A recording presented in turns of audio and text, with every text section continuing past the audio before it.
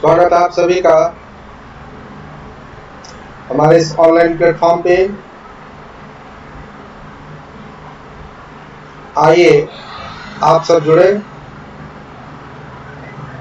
Good morning Puja.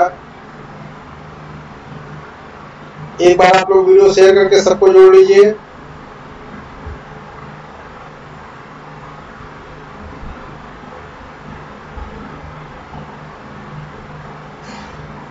एक बार आप सभी लोग वीडियो शेयर करके सबको जोड़ लें फटाफट। आज हम लोग बात करेंगे एगरिकस जिसको आप मशरूम कहते हैं। जिसको हम लोग भोजन के रूप में उपयोग करते हैं। तो एक इंपॉर्टेंट पॉइंट यह है कि एगरिकस बाइस्पोरस एक ऐसा मशरूम है जिसको हम फ़ूड के रूप में यूज़ करते हैं। सभी को सुप्रभात। अनिल अरुण विश्वकर्मा है, प्रवीण मानो है। शुभम वर्मा। बाकी सब लोगों को भी आप लोग जोड़ लें फटाफट। वीडियो शेयर करके। एक आप कमेंट के माध्यम से बताइए कि स्क्रीन और आवाज़ आपको क्लियरली मिल रही, नहीं मिल रही है। स्क्रीन और आवाज़ आपको क्लियरली मिल रही नहीं मिल रही बताएँ।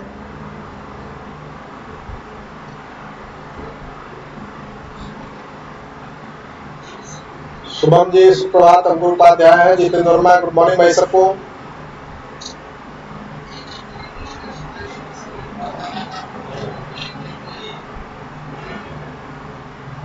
चलिए क्लियर है? चलिए, ठीक है। शुरू करते हैं हम लोग। एगरिकस या मशरूम ये इंपॉर्टेंट है। यहाँ से बहुत सारे प्रश्न बनते हैं, परीक्षाओं के दृष्टिकोण से भी और कंपटीशन एग्ज़ाम के दृष्टिकोण से भी इंपॉर्टेंट टॉपिक है आपका। तो चलिए, सबसे पहले हम देखते हैं सिस्टमेटिक पोजीशन और सिस्टमेटिक पोजीशन की अगर हम बात करें तो एग्रिकस जो है एग्रिकस का किंगडम जो है, माइकोटा है। Division Eumycota. Sub division Basidiomycotina तो बेसिडियो माइकोटिना से ही आपको अंदाज़ा लग गया होगा कि इसमें जो स्पोर बनेगा, वो बेसिडियो स्पोर बनेगा। क्लास इसका हाइमिनोमाइसिट्स है। सब क्लास जो है होलो बेसिडियोमाइसिट्स माइसिटिडी आर्डर एग्रीगेल्स और फैमिली एग्रीकेसी है। जीनस आपका एग्रीकस है। ठीक है? एक बार फिर से आप सिस्टमेटिक पोजीशन को रिवाइज करें। तो डिवीज़न है किंगडम जो है, mycota. Division Eumycota. You mycota का मतलब हो गया कि ट्रू फंजाई होगा। सब डिवीज़न इसका बेसिडियो माइकोटिना है। बेसिडियो माइकोटिना का मतलब ये होगा कि इसमें जो स्पोर बनेगा, वो बेसिडियो स्पोर बनेगा। गुड मॉर्निंग रजत क्लास जो है हाइमिनोमाइसिट्स है। सब क्लास जो है होलो बेसिडियो माइसिटिडी आर्डर जो है एग्रीकेल्स है। फैमिली जो है एग्रीकेसी है। और जीनस एग्रीकस है। ठीक है? अब एग्रीकस को अगर आप ध्यान से देखें तो है क्या एग्रीकस अगर इसकी बात करें तो एग्रीकस जो है, का एक और भी नाम है पैसिलोटा एग्रीकस को एक और नाम पैसिलोटा से जानते हैं हम लोग। और ये जो है स्पोरोफिटिक फंगस है। तो स्पोरोफिटिक फंगस कहने का मतलब यही हो गया सीधा कि this fungus develop on dead organic remains ठीक है ना?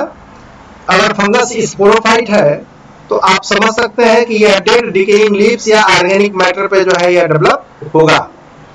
ठीक है ना? आगे समझे कि इस फंजाई को जो है कॉमनली हम मशरूम के नाम से जानते हैं। किस नाम से जानते हैं? मशरूम के नाम से जानते हैं। और इस एग्रिकस की कुल सत्तर स्पीसीज जो है इंडिया के अंदर रिपोर्टेड है। कितनी स्पीसीज दिया तो सत्रह स्पीसीज जो है इंडिया के अंदर रिपोर्टेड है। और इसको जो है लोकली और किस नाम से जानते हैं? तो कुकुर मुत्ता के नाम से जानते हैं, खुम्ब के नाम से जानते हैं, धिनगरी के नाम से जानते हैं। ठीक है ना? तो ये जो है कुछ कॉमन नेम है। जिस नाम से हम जानते हैं इसको। ठीक? तो फिर से बात को एक बार समझें आप कि एग्रीकस है कैसा? तो स्पोरोफिटिक फंगस है, स्पोरोफाइट है सॉरी सेप्रोफाइट है। तो सेप्रोफाइट होने का सीधा मतलब यह है कि यह फंगस,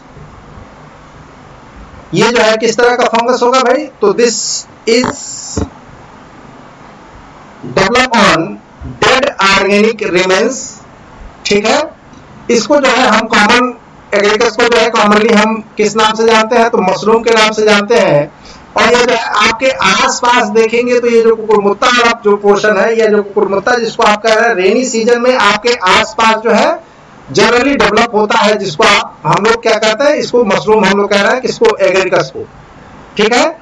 एग्रीकस की सत्तर स्पीसीज जो है इंडिया के अंदर रिपोर्टेड है। कितनी स्पीसीज इंडिया के अंदर। और कॉमन नाम जो है, जिस नाम से आप हम जानते हैं, ये जो है कुरमुत्ता इसको कहते हैं खम कहते हैं धीनगिरी कहते हैं। ठीक है ना? अब इसमें देखिए कि एग्रेकस कंपेस्टिस जो है यह फ़ील्ड मशरूम है। कौन सा मशरूम है? फ़ील्ड मशरूम है। एग्रेकस कंपेस्टिस और एग्रेकस बाइस्पोरस जो है, ये जो है ब्रोनेसेंस एग्रेकस ब्रोनेसेंस भी कहते हैं यह जो है कल्टीवेटेड मशरूम है। तो अगर फ़ील्ड मशरूम और कल्टीवेटेड मशरूम आपसे पूछा जाए कि एग्रेकस की कौन सी स्पीसीज जो है वह फ़ील्ड मशरूम है और कौन सी कल्टीवेटेड मशरूम है तो एग्रेकस कम्पेस्टिस जो है वो फ़ील्ड मशरूम है और एग्रेकस बाइस्पोरस जो है क्या है? कल्टीवेटेड मशरूम है। ध्यान रखिएगा। ठीक है ना? अब देखिए, आसम कॉमन इडिबल मशरूम्स ये जो है दोनों इंडियन इडिबल मशरूम्स है। ठीक है अब कब ये जो है, कब ये जो है, देखिए commercially cultivated in various part of India ठीक है ना? Species like Agaricus celebatis and Agaricus xanthodermus are highly poisonous तो ये देखिए एगेकस की ये दो स्पीसीज सेलिबेटिस एंड जेंथोडर्मस जो है यह पॉइजनस है। ठीक है ना? कैसे है? पॉइजनस है। ठीक है ना? अब ये जितने भी ये जो हम लोग डिस्क्रिप्शन पढ़ रहे हैं, ठीक है? यह एगरकस कम्प्रेस्टिस का डिस्क्रिप्शन पढ़ रहे हैं, जो खाने वाला मशरूम है, उसके डिस्क्रिप्शन को हम लोग क्या होंगे देखेंगे। ठीक है जो खाने वाला मशरूम है, या जो इडबिल मशरूम है, उसके डिस्क्रिप्शन को हम लोग देखेंगे। ना कि जो है, हम लोग देखेंगे, जो ऐसा मशरूम जो क्या है? पॉइजनस है। तो चलिए, कुछ इंपॉर्टेंट चीज़ें हैं इसमें, उसको हम लोग देखें। स्ट्रक्चर में तो देखिए इसके दो स्ट्रक्चर आप दो हेड्स के अंदर जो है इसका स्ट्रक्चर हम पढ़ेंगे। पहला हेड जो है वेजिटेटिव माइसीलियम और दूसरा जो है फ्रूटिंग बॉडी या बेसिलियो कार्प है। ठीक है? इसके अंदर माइसिलियम कैसा होता है और इसकी फ्रूटिंग बॉडी कैसी होती है, इन दोनों को हम लोग पढ़ेंगे। तो वेजिटेटिव माइसिलियम की अगर हम बात करें तो ध्यान दें आप लोग यहाँ पे कि द वेजिटेटिव माइसीलियम होती है remains underground and is of two type ये कहा होती है? तो अंडरग्राउंड होती है। कहा होती है भाई? अंडरग्राउंड होती है और यह दो तरह की होती है। कितने तरह की होती है? दो तरह की होती है। एक प्राइमरी माइसिलियम होती है और दूसरी सेकेंडरी माइसीलियम होती है। तो मैंने आपको बताया कि ये आप देखें, मैं आपको दिखाता हूँ। इसका फिगर आपने देखा भी होगा और मैं आपको दिखा भी दे रहा हूँ कि ये इसका फिगर है। ये जो है, इसका फिगर है, और इसमें आप बहुत ध्यान से देखें तो ये जो पार्ट जो है, ये जो निकला हुआ पार्ट है, ये जो है सॉइल सरफेस के ऊपर निकलता है, यानी कि जो जहाँ ये डेवलप होता है, उससे ऊपर निकलता है। तो इसको आप कह देते हैं बेसिडियो कार्प क्या कह देते हैं? बेसिडियो कार्प क्योंकि यह बेसिडियो स्पोर को कंटेन करता है। तो सिर्फ़ ये यहीं से नहीं निकलता है इसके नीचे जो है कुछ माइसीलियम भी डेवलप होते हैं। तो ये जो माइसीलियम डेवलप हो रहा है, जिससे यानी वह प्रोपेग्यूल जो इस बेसिडियो कार्प के फॉर्मेशन के लिए या डेवलपमेंट के लिए रिस्पॉन्सिबल है वह माइसीलियम के स्ट्रक्चर भी देखेंगे और इस पूरे बेसिडियो कार्प का भी स्ट्रक्चर हम देखेंगे, ठीक है? तो माइसीलियम किस तरह का होता है? अगर बात हम इसकी करें तो माइसीलियम जो है, इसका दो तरह का होता है। एक मोनोकैरियाटिक माइसीलियम होता है और एक जो है डाई माइसीलियम होता है, या सेकेंडरी माइसीलियम इसको कहते हैं primary mycelium and secondary mycelium ठीक है ना? कौन कौन सा? Primary mycelium and secondary mycelium दो तरह के माइसीलियम होते हैं। एक प्राइमरी माइसिलियम होता है और दूसरा क्या होता है? सेकेंडरी माइसिलियम होता है। ठीक? तो अब देखिए प्राइमरी माइसिलियम कैसा होता है? तो प्राइमरी माइसिलियम जो होता है, वो हाईलाइन होता है। हाईलाइन का मतलब होता है कलरलेस कैसा होता है? कलरलेस होता है। सेप्टेट होता है। कैसा होता है? सेप्टेट होता है। और मोनोकैरियाटिक होता है। अगर आपसे ये पूछा जाए कि प्राइमरी माइसिलियम मशरूम का कैसा होता है तो आप ध्यान रखेंगे कि प्राइमरी माइसिलियम जो मशरूम का होता है, वो कलरलेस होता है सेप्टेट होता है और मोनोकैरियाटिक होता है। और ये जो है, देखिए क्या होता है depending on the strain of basidiospore it may be positive और निगेटिव स्टेन ये जो है, दो स्टेन हो सकते हैं। पॉजिटिव स्ट्रेन और निगेटिव स्ट्रेन के हो सकते हैं। पॉजिटिव स्ट्रेन और निगेटिव स्ट्रेन के हो सकते हैं। ठीक है ना? दूसरी चीज़, एक चीज़ इंपॉर्टेंट और भी है कि यह शॉर्ट लिव्ड होते हैं। ठीक है ना? शॉर्ट लिव्ड हो जाते, होते हैं, जल्दी खत्म होने वाले होते हैं और यह डाई कैरियाटिक माइसीलियम के अंदर कन्वर्ट हो जाते हैं। किसमें कन्वर्ट हो जाते हैं? डाई कैरियाटिक माइसीलियम में। तो यही प्राइमरी माइसीलियम जो है वो किसमें कन्वर्ट होता है? ड्राई कैरियाटिक माइसीलियम में। और जैसे ही यह डाई कैरियाटिक माइसीलियम में कन्वर्ट होता है तो इसको हम कहते हैं सेकेंडरी माइसीलियम ठीक है ना? सेकेंडरी माइसीलियम अब हम बात करें सेकेंडरी माइसीलियम का फॉर्मेशन कैसा होता है? तो सेकेंडरी माइसीलियम जो है, दो प्राइमरी माइसीलियम के फ्यूजन से जो है, क्या बनता है? सेकेंडरी माइसीलियम बनता है। ध्यान रखेंगे दो प्राइमरी माइसिलियम के फ्यूजन से सेकेंडरी माइसिलियम बनता है, लेकिन शर्त यह है कि दोनों किस स्ट्रेन के होने चाहिए? तो दोनों अपोजिट स्ट्रेन के होने चाहिए, कि यानी कि एक जो है निगेटिव स्ट्रेन का होगा तो दूसरा जो है पॉजिटिव स्ट्रेन का होगा। कंफर्म कीजिए, बात आप समझ पा रहे हैं कि नहीं समझ पा रहे हैं? क्लियर कीजिए भाई। क्लियर कीजिए कि बात आपके समझ में आ रही है कि नहीं समझ में आ रही? एक बार कमेंट के माध्यम से बताएँ आप सभी। कमेंट के माध्यम से कंफर्म करें कि बात आपके समझ में आ रही है कि नहीं समझ में आ रही है। क्लियर करें तो यस नो में कमेंट करें फटाफट। बताएँ। कमेंट के माध्यम से बताएँ कि बात आपके समझ में आ रही है कि नहीं समझ में आ रही है। प्राइमरी माइसिलियम और सेकेंडरी माइसिलियम को मैंने आपको बताया। क्लियर है? पूजा विश्वकर्मा बता रहे क्लियर है? बाकी लोग भी बोले फटाफट सभी लोग कमेंट करें। एक बार आप लोग लग करके वीडियो को शेयर कर दीजिए अपने मित्रों को फटाफट। जिससे आपकी संख्या बढ़े। लग करके अपने व्हाट्सएप ग्रुप पे अपने मित्रों को शेयर कीजिए, जिससे अन्य लोग भी जुड़ सके। चलिए ठीक है। जितने भी लोग हैं बीएससी फ़र्स्ट ईयर के, कम से कम आप अपने मित्रों को शेयर कर दीजिए शेयर करके जोड़ लीजिए। तो दो चीज़ें मैंने आपको बताया कि प्राइमरी माइसिलियम मोनोकैरियाटिक हाईलाइन और सेप्टेट होती है, और यही मोनोकैरियाटिक माइसिलियम जो है कन्वर्ट होती है सेकेंडरी माइसिलियम में। और इसके लिए शर्त यह है कि दो मोनोकैरियाटिक माइसीलियम जो है वो फ्यूज करेगी, लेकिन दोनों अपोजिट स्टेट की होगी और सेकेंडरी माइसीलियम में क्या हो जाएगी? कन्वर्ट हो जाएगी।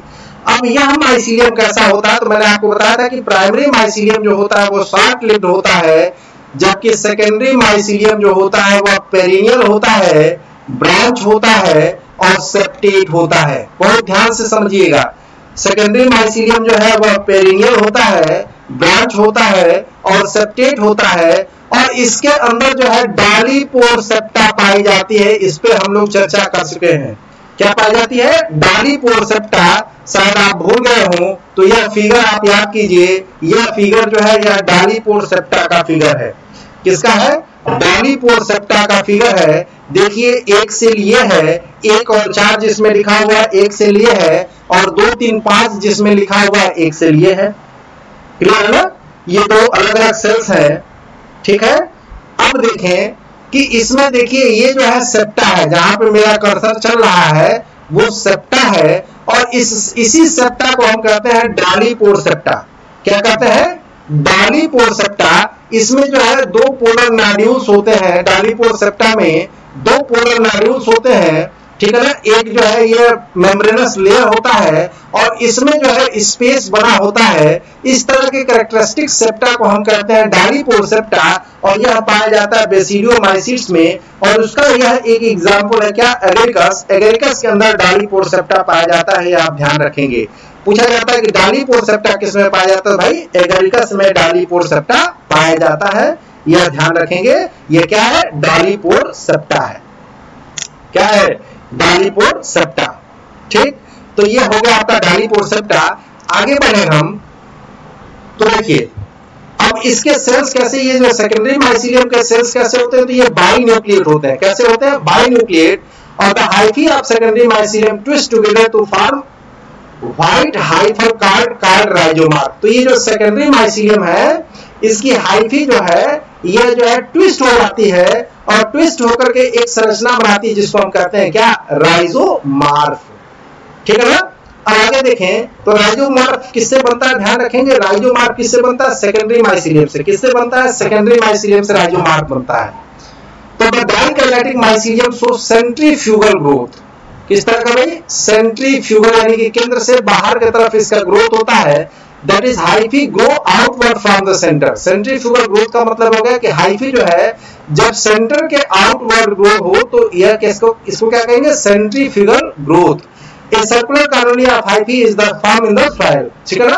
तो इस तरह से जो है, जब सेंट्री सेंट्रीफ्यूगल ग्रोथ होता है तो एक सर्कुलर कॉलोनी बनती है किसकी? हाइफी की, किसके अंदर? सॉइल के अंदर. और यही जो सेकेंडरी माइसिलियम जो है, यह फ्रूटिंग बॉडी का फॉर्मेशन करती है। किसकी, किस, क्या बनाती है? फ्रूटिंग बॉडी या बेसिडियो कार्प क्या बनाती है? बेसिडियो कार्प ठीक है? अब हम देखें तो देखिए tips in the more or less circular ring ठीक है ना? अब इसके टिप पे जो है more or less circular as the as the outer edge of colony grows older parts of uh, in the center degenerate where fruiting bodies are formed next time next time the ring is larger in diameter the successive crops of fruiting bodies are produced in larger अब देखिए यहाँ पे एक बात की जा रही फेरी ring की ठीक है तो चलिए देखते हैं फेरी रिंग क्या होता है फेरी रिंग क्या होता है ये देखें हम ठीक है ना? फेरी रिंग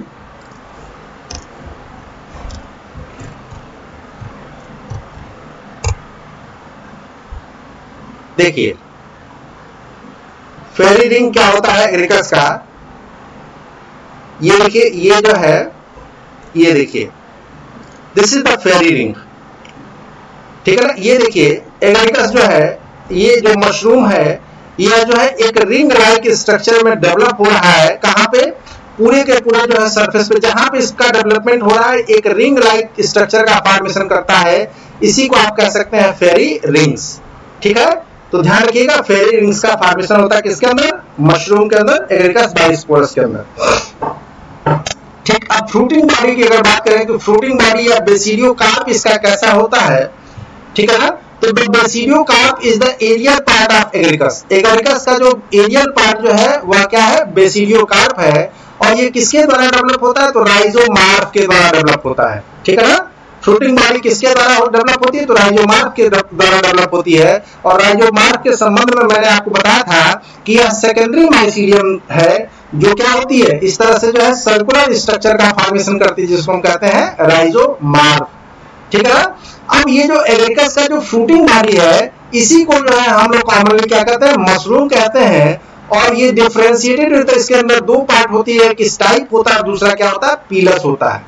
ठीक है ना? एक स्टाइप और एक पीलस ये देखिए, इस तरह से आप मशरूम देखे घरों में लाते होंगे तो यह जो है, इस तरह से मशरूम जो है, आपका होता है। ये जो है, ये वाला जो पोर्शन है, वो पिलस है, और ये वाला जो पोर्शन जो डंठन है, वो स्टाइप है, और जो ये फ्रूटिंग बॉडी वाला पोर्शन है, वो क्या है? पिलस है।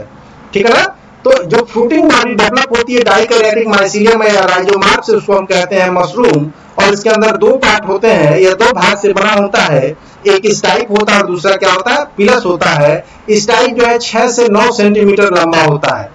ठीक है ना? स्टाइप जो है छह से नौ सेंटीमीटर लंबा होता है और पाँच से दस सेंटीमीटर डायमीटर का क्या होता है? पिलस होता है। पाँच से दस सेंटीमीटर डायमीटर का क्या होता है? पिलस होता है। There are about three hundred to six hundred gills इसके अंदर क्या पाई जाती है? पिलस के अंदर क्या पाई जाती है? गिल्स पाई जाती है ऑन द अंडर सरफेस कहाँ पे? नीचे के सरफेस में पिलस के नीचे की तरफ़ जो है क्या पाए जाते है? गिल्स पाई जाती हैं और ये रेडियल फ़ैशन में अरेंज होती हैं। किस फ़ैशन में? रेडियल फ़ैशन में होती हैं अरेंज तो ये देखिए, आप ध्यान दें तो ये जो है आपका स्टाइप है। क्या है? स्टाइप। और स्टाइप और पिलस जहाँ पे एक दूसरे से जुड़ रहा है, उसको हम कहते हैं वेलम क्या कहते हैं? वेलम स्टाइप और प्लस एक दूसरे से जहाँ पे जुड़ रहा है, उसको क्या कहते हैं? वेलम ये आपका प्लस है। यह जो है, पाँच से दस सेंटीमीटर इसका डायमीटर होता है।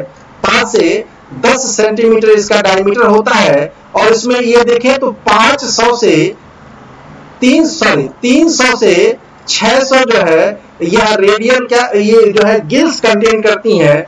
300 से 600 जो है गिल्स कंटेन करती हैं। और यह पिलस के इनर साइड में देखिए, आप देखिए ये गिल्स है। पिलर के इनर साइड पिलस के इनर साइड में जो है, यह रेडियल गिल्स जो है क्या है? लगी हुई है। अगर आप ध्यान से देख पाए तो समझे।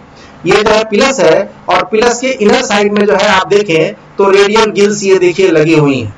पिलस के इनर साइड में ये रेडियल गिल्स जो है लगी हुई है। इसकी संख्या की अगर बात करें तो इसकी संख्या होती है 300 से लेकर के 600 तक। अब हम बात ये देखिए, ये बड़ है, ये नया जो है बड़ है, जो मशरूम का डेवलपमेंट करेगा, जिसको हम मशरूम कह रहे हैं, मशरूम का फॉर्मेशन करेगा, मशरूम के अंदर दो पार्ट स्टाइप और पिलस ठीक है? अब ये देखिए, कुछ मोनोकैरियोटिक और डाइकैरियोटिक माइसीलियम को अगर हम देखें मोनोकैरियोटिक और डाइकैरियोटिक माइसीलियम को तो ये सॉरी एक मिनट आप लोग होल्ड करेंगे। कनेक्शन जो है, ये जो पेज था वो कट गया है। हाँ तो ये जो है आपका प्लस है, ध्यान दें। प्लस मैंने आपको बताया फिर हम लोग बात कर रहे थे मोनोकैरियोटिक और डाइकैरियोटिक माइसीलियम की। तो ये देखिए, कुछ माइसीलियम का स्ट्रक्चर जो है मोनोकैरियोटिक और डाइकैरियोटिक माइसीलियम का स्ट्रक्चर जो है, आपकी स्क्रीन पे दिख रहा होगा। जिसके अंदर एक न्यूक्लियस है, जिसके अंदर एक न्यूक्लियस है, यह मोनोकैरियोटिक माइसीलियम है और जिसके अंदर आपको दो न्यूक्लियस दिख रहा है, प्रत्येक के अंदर दो दो न्यूक्लियस दिख रहे हैं, यह डाइकैरियोटिक माइसीलियम है, ठीक है ना? इसको आप प्राइमरी माइसिलियम पहले आपने कहा, यह जो है सेकेंडरी माइसिलियम है, और सेकेंडरी माइसिलियम जो है दो प्राइमरी माइसिलियम के फ्यूजन से बनती है, और ये दोनों जो है अपोजिट स्टेन के होते हैं, चाहे नेगेटिव स्टेन होगा, चाहे पॉजिटिव स्टेन होगा तो ये वाला जो माइसीलियम वाला पार्ट है ना, ये अंडरग्राउंड होता है। कहा होता है? अंडरग्राउंड होता है। और जो सरफेस के ऊपर होता है, ये दो पार्ट है। एक स्टाइप है और एक जो है पिलस है। यही स्टाइप जो है ना, यह राइजोमार्फ या सेकेंडरी माइसीलियम के द्वारा जो राइजोमार्फ बनता है, उससे जुड़ता है। तो एक बार आप कंफर्म कीजिए कि बात आप समझ गए कि नहीं समझ पाए। क्लियर कीजिए भाई? कमेंट के माध्यम से क्लियर कीजिए कि बात आपके समझ में आई कि नहीं समझ में आई। कमेंट करें। कमेंट करें कि बात आप समझ गए कि नहीं समझ पाए। बताएँ भाई क्लियर करें yes or no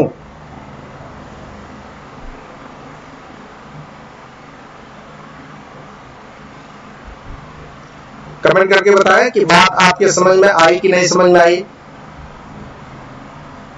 Vandana ji good morning बाकी लोगों को भी आप लोग जोड़ लीजिए ऐड कर लीजिए। समझ में आ गई, पूजा कार्य समझ में आ गई। किसी को कोई दिक्कत हो तो बताए भाई किसी की कोई समस्या?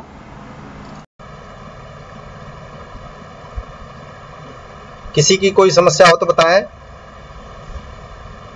नहीं है। हाँ एक लोगों का एक प्रश्न आया है।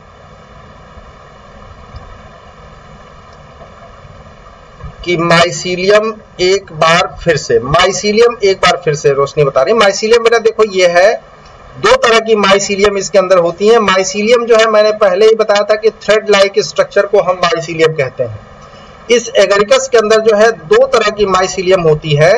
एक प्राइमरी माइसीलियम और एक सेकेंडरी माइसीलियम प्राइमरी माइसीलियम जो है, वो माइसीलियम होती है जिसके अंदर सिर्फ़ एक न्यूक्लियस होता है या मोनोकैरियाटिक होती है सेप्टेट होती है।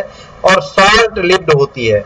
जबकि सेकेंडरी माइसिलियम जो है, इसी मोनोकैरियाटिक माइसीलियम से बनती है। इसके अंदर दो न्यूक्लियस होते हैं, ठीक है ना? या डाइकैरियाटिक कंडीशन होता है, दो न्यूक्लियस होते हैं, ठीक? और ये जो है लॉन्ग लिप्ड होती है, यही राइजो राइजोमार्फ बनाती है, और यही राइजो राइजोमार्फ इसी का राइजो राइजोमार्फ जो है, वह स्टाइप और पिलस को क्या करता है? धारण करता है। बस ये है इसमें।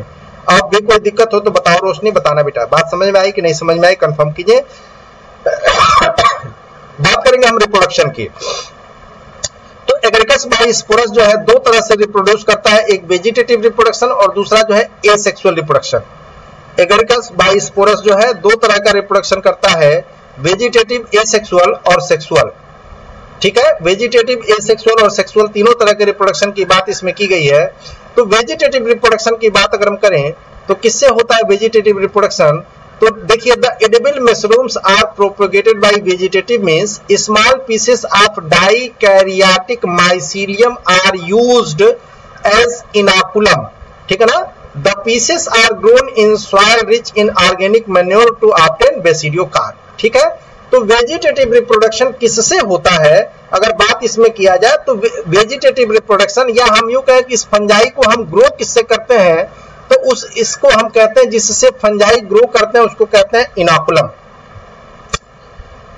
एग्ज़ाम ऑब्जेक्टिव होगा या सब्जेक्टिव होगा please sir reply MSc five Bandana ji exam जो है, वो अभी कुछ कंफर्म नहीं है. मोस्ट प्रॉबल ऑब्जेक्टिव की संभावनाएँ बन रही हैं. कुछ क्लियरेंस हो जाए तो बात समझ में आए, अभी यूनिवर्सिटी का कोई गाइडलाइन नहीं आया है, लेकिन ये कहा जा रहा है कि ऑब्जेक्टिव टाइप के एग्ज़ाम्स होंगे, डेढ़ घंटे के ही एग्ज़ाम्स होंगे और सारे प्रश्न पत्र जो है उसी में कवर कर लिए जाएँगे। ठीक है ना? डेढ़ घंटे में ही सब कुछ कवर कर लिया जाएगा। ये बात आ रही है निकल के। अभी इक्कीस तारीख दिन है, बहुत समय है इसमें। अब देखिए आगे क्या होता है। परिस्थितियों के आधार पर ही निर्णय होगा कि क्या होने वाला है। ठीक है? बाकी जो लोग हैं, जो लोग लगे हुए हैं, पढ़ रहे हैं, आप लोग पढ़ते रहिए। काम यही आएगा। बाकी एग्ज़ाम वगैरह तो चलता रहेगा, ये होता रहेगा। पढ़ाई होगी तो एग्ज़ाम्स भी होंगे। ठीक है? तो ये होता क्या है? ध्यान रखिए इनाकुलम इनाकुलम से जो है, हम फंगस को क्या करते हैं? ग्रो करते हैं। और यह इनाकुलम किसका बना हुआ? तो डाई कैरियाटिक माइसिलियम का बना होता है। किसका बना होता है? डाई कैरियाटिक माइसिलियम इसी डाई कैरियाटिक माइसिलियम के छोटे छोटे पीसेस को हम कहते हैं इनाकुलम डाई कैरियाटिक माइसिलियम के छोटे छोटे पीसेस को हम कहते हैं इनाकुलम और यही इनाकुलम जो है, होता क्या है कि इस इनाकुलम को हम जो है सॉयल ऐसे सॉइल में जो ऑर्गेनिक मेन्योर के द्वारा रिच होता है ऑर्गेनिक मेन्योर से रिच होता है, उसके अंदर लगा देते हैं और हमको बेसिडियो कार्ब क्या हो जाता है? मिल जाता है। क्या मिल जाता है? बेसिडियो कार्ब मिल जाता है। तो एक बार आप कंफर्म करें कि वेजिटेटिव रिप्रोडक्शन आपके समझ में आया कि नहीं समझ में आया? बात करेंगे हम ए सेक्सुअल रिप्रोडक्शन की। ए सेक्सुअल रिप्रोडक्शन के संबंध में हम चर्चा करेंगे। क्या है ए सेक्सुअल रिप्रोडक्शन अगर इस पर बात करें तो देखिए ए सेक्सुअल रिप्रोडक्शन जो है it is it is a it is not a common method of propagation in Agaricus ये जो है कॉमन मेथड नहीं है। एग्रीकस के अंदर जो है ए सेक्सुअल रिप्रोडक्शन जो है कॉमन नहीं है। वेजिटेटिव जो है, वो क्या है? कॉमन है। ठीक है ना? और ये किसके द्वारा होता है भाई? ए सेक्सुअल रिप्रोडक्शन तो क्लमाइडो स्पोर्स के द्वारा होता है। क्लमाइडो स्पोर के फॉर्मेशन के द्वारा जो है ए सेक्सुअल रिप्रोडक्शन होता है। ध्यान रखेंगे क्लोमाइडोस्पोर के फॉर्मेशन के द्वारा ए सेक्सुअल रिप्रोडक्शन होता है और क्लोमाइडोस्पोर डेवलप कहाँ होता है? तो यह टर्मिनल या इंटर कैलरी पोजीशन में क्लोमाइडोस्पोर्स डेवलप होते हैं। ध्यान रखेंगे टर्मिनल या इंटर कैलरी पोजीशन में क्लोमाइडोस्पोर डेवलप होते हैं। ठीक? किसके ऊपर? तो सेकेंडरी माइसीलियम के ऊपर। किसके ऊपर भाई? तो सेकेंडरी माइसीलियम के ऊपर टर्मिनल या इंटरकैलरी पोजीशन में क्लमाइडोस्पोर डेवलप होते हैं और यही जो है जर्मिनेट होते हैं और डाई कैरियाटिक माइसीलियम का फॉर्मेशन कर देते हैं। ठीक है ना? जर्मिनेट होते हैं क्लमाइडोस्पोर और डाई कैरियाटिक माइसीलियम का फॉर्मेशन करते हैं। देखिए, कुछ स्पीसीज में ओइडिया का भी फॉर्मेशन होता है। ठीक है ना? कुछ स्पीसीज में ओइडिया का फॉर्मेशन होता है और ओइडिया जो है पहले कन्वर्ट होती है डाइकैरियोटिक माइसीलियम में बाय द प्रोसेस डाइकैरियोटाइजेशन और फिर जो है यह नए माइसिल नए नए जो है डाइकैरियोटिक माइसीलियम के डेवलपमेंट के लिए रिस्पांसिबल होती है और वह जो है राइजोमार्फ बनाता है और राइजोमार्फ से जो है बेसिडियो स्पोर्स निकलते हैं। फिर से एक बार कंफर्म कीजिए तो एसेक्सुअल रिप्रोडक्शन जो है किसके अंदर? मशरूम्स के अंदर या एगरिकस के अंदर कॉमन नहीं है, लेकिन यह क्लमाइडो स्पोर्स के द्वारा होता है। किसके द्वारा? क्लमाइडो स्पोर के फॉर्मेशन के द्वारा। और होता क्या है कि डाइकैरियोटिक माइसीलियम के द्वारा जो है क्लमाइडो स्पोर्स का फॉर्मेशन होता है। यह क्लमाइडो स्पोर जो है, वह इंटरकलरी भी हो सकता है और टर्मिनल भी हो सकता है। जैसे मान लीजिए कि यह जो है डाइकैरियोटिक माइसीलियम का टर्मिनल सेल है तो ये भी क्लोमाइडोस्पोर बना सकता है। या दो सेलों के बीच के जो सेल्स होते हैं, जो डाइकैरियोटिक सेल्स हैं, यह भी जो है का फॉर्मेशन करते हैं। यह क्लोमाइडोस्पोर जो है किससे बनता है? तो डाइकैरियोटिक माइसीलियम से बनता है और यह जो है डायरेक्टली जर्मेट होता है और डाइकैरियोटिक माइसीलियम का फॉर्मेशन करता है और यह डाइकैरियोटिक माइसीलियम जो बना, यह राइजोमार्ब बनाता है और राइजोमार्ब जो है क्या बना लेता है? बेसिडियो ठीक है? अब दूसरी बात करें तो ये ओइडिया है ओइडिया जो है ओइडिया का काम यह है कि पहले ये जो है इसका डाई डाइकैरियोटाइजेशन होगा। ओइडिया का फॉर्मेशन तो होगा, लेकिन ओइडिया जो है पहले डाई कैरियाटिक माइसीलियम बनाएगी, और जब ये डाई कैरियाटाइजेशन हो जाएगा, तब जो है यह जर्मिनेट होगा राइजोमार बनाएगा, और राइजोमार से क्या बन जाएँगे? बेसिडियो स्पोर्स बन जाएँगे। तो एक बार कमेंट के माध्यम से बताइए कि यह पोर्शन आपका ए सेक्सुअल रिप्रोडक्शन का जो पोर्शन था, आपका क्लियर हुआ कि नहीं? क्लियर हुआ? एक बार कमेंट करें भाई। एक बार कमेंट करें कि ए सेक्सुअल रिप्रोडक्शन का पोर्शन जो मैंने आपको बताया, यह क्लियर हुआ कि नहीं क्लियर हुआ? कमेंट के माध्यम से बताएँ। Yes or no yes or no चलिए, ठीक है तो अब बचता है इसमें सेक्सुअल रिप्रोडक्शन और सेक्सुअल रिप्रोडक्शन प्लाज्मोगेमी और इसमें जो है और भी कुछ पोर्शंस हैं, जिसकी बात हम लोग जो है नेक्स्ट टर्न यानी कि कल करेंगे। तो आज के लिए बस इतना ही। आज जितने लोग चैनल पे नए हैं, चैनल को सब्सक्राइब कर ले। वीडियो को सभी लोग लाइक कर दे, जितने लोग भी वीडियो पे बने हुए हैं, वीडियो को लाइक करें, ठीक है? और नए नए लोगों को जोड़ें। आप नए नए लोगों को जोड़ेंगे तो अच्छा लगेगा, ठीक है? यह चैनल आपका है। इसके ग्रोथ में जो है, आप भागीदार बने। इसको बढ़ाने में जो है, आप मेरा सहयोग करें। तो आज हम लोग इसी पर रोकेंगे। किसी की कोई समस्या हो, आज के लेक्चर में आप बताएँ। किसी की कोई समस्या शॉर्ट रिवीजन आप देख लीजिए। तो एगरिकस किसका है? बेसिडियो माइसीड्स का मेंबर है बेसिडियो माइकोटिना का मेंबर है, किसका मेंबर है? बेसिडियो माइकोटिना का। बेसिडियो स्पोर का फॉर्मेशन करेगा। इसके अगर स्ट्रक्चर को दो स्पीसीज जो है खाने लायक है, बाकी सब जो है जहरीली है, आपको मैंने बताया था। अगर इसके इंटरनल स्ट्रक्चर को देखें तो दो पार्ट में इंटरनल स्ट्रक्चर देख सकते हैं। एक जो है, आपका माइसीलियम होगा और दूसरा जो है बेसिडियो कार्प होगा। माइसीलियम के बारे में मैंने आपको बता दिया कि प्राइमरी माइसिलियम सेकेंडरी माइसिलियम और बेसिडियो कार्प के अंदर जो है पिलस होता है और, और स्टाइप होता है। पिलस जो है किसको कंटेन करता है? गिल्स को। गिल्स कितनी गिल्स की संख्या कितनी होती है? तो 300 से लेकर के 600 तक रिप्रोडक्शन जो है तीनों तरह का ए सेक्सुअल वेजिटेटिव और सेक्सुअल इस वेजिटेटिव के बारे में मैंने आपको बताया कि डाइकैरियाटिक माइसिलियम के फल डाइकैरियाटिक माइसीलियम के द्वारा जो है वेजिटेटिव रिप्रोडक्शन होता है। जबकि ए सेक्सुअल रिप्रोडक्शन की अगर बात करें तो ए सेक्सुअल रिप्रोडक्शन जो है क्लामाडो स्पोर्स और ओइडिया के फॉर्मेशन के द्वारा होता है। तो बताइए जवानी आपको याद हो गया कि नहीं याद हो गया? एक बार कमेंट के माध्यम से बता दें फटाफट हमको। क्लियर कि नहीं? याद हुआ कि नहीं याद हुआ? बोलो भाई। याद हुआ कि नहीं और क्लियर है कि नहीं? एक बार कमेंट करें।